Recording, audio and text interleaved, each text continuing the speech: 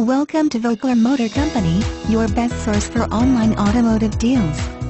This 2009 Ford Mustang has a 4.0-liter V6 engine, automatic transmission, and rear-wheel drive.